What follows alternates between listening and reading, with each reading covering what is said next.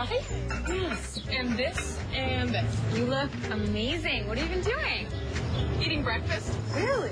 Yeah, the Special K breakfast. Full of Special K red berries, fruit, and coffee. It's less than 250 calories for all this. It's no secret. Research shows women who eat breakfast, like the Special K breakfast, weigh less. Oh, all the same. Yeah, we should. Take back breakfast today with the Special K breakfast.